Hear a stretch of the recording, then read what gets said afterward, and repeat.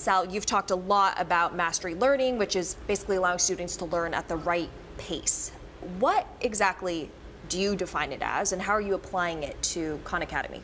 Yeah, mastery learning in some ways is the most common sense way to learn, and it's not my idea. It goes way back. It's arguably the first way of learning, which is if you're learning a musical instrument and you're working on a more basic piece and you've got it 80% well, instead of moving on to the more advanced one, take the time necessary to learn the more basic one, then the advanced one will make more sense. Same thing in a math class over the last 200 years or so, we've had a, an education system that, for frankly logistic reasons, have had to not allow students to uh, master things and move at their own pace, but instead move them all lockstep. And then what happens is we're in a seventh grade class, we're learning exponents, and I get an 80% on the exam, even though I have that 20% gap, we then have to move on to a more advanced topic. And what typically happens is that kids eventually hit a wall when they get to an algebra class or a calculus class or a physics class. And in mastery learning, you, you just, instead of holding fixed how long and when you do something with a variable outcome, you make variable when you can work on something, and you say, hey, everyone should really master that concept and not have these gaps. And a few years ago, you went brick and mortar with the Khan Lab School. Two of your kids actually go there. I mean, what have you learned through that experience? Have you changed the model at all?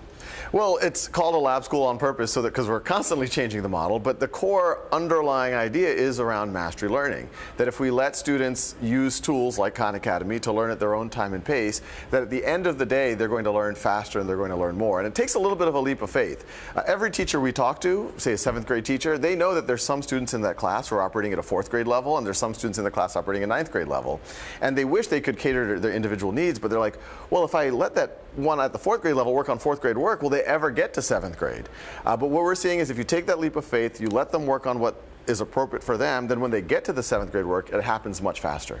And are there major challenges with having students of all different ages in the same classroom?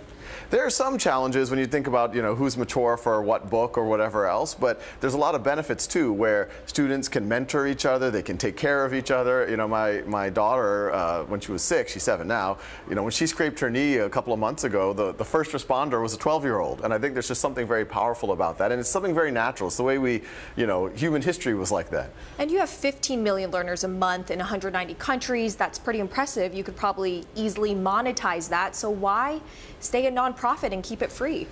Yeah, you know, when, when Khan Academy started, it was it was a little bit delusional. I was operating out of a walk-in closet. It's much bigger. We, you know, we have 200 full-time employees now, but I, I, it was is this idea of like, well, maybe the Khan Academy could be a, an institution for the next generation of learners or many generations of learners.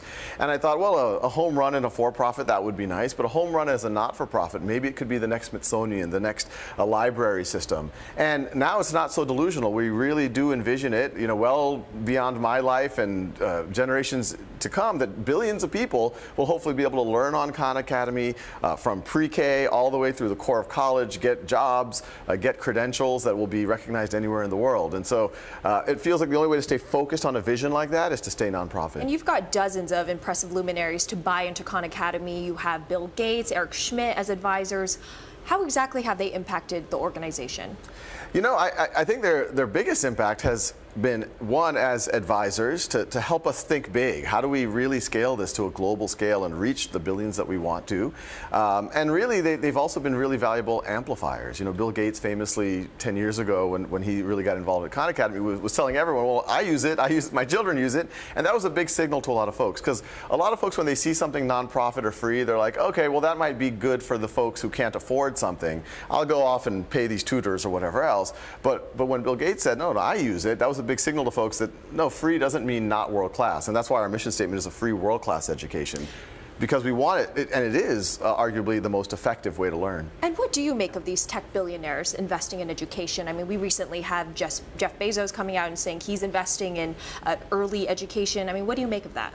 I think it's very positive. I think you know from from the outside it can sometimes feel like oh or you know is, is there is there something deeper going on? But uh, everyone that I've interfaced with, many of whom have been donors to us, it's it's it's a very positive intent. Uh, they see what's happening kind of at a macro level. That you know the pyramid of, of our society where you know you need a lot of labor and then you have a, a kind of a middle class. It's kind of an information processing class, and then you have the top, which is the creative class.